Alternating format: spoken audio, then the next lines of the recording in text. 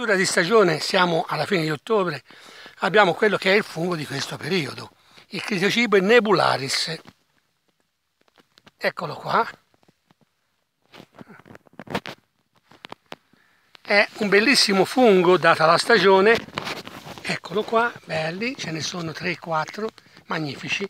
È un fungo che lo si può anche mangiare purché sia scottato abbondantemente, poi lavato in acqua non di cottura eh, e poi lo si può adoperare.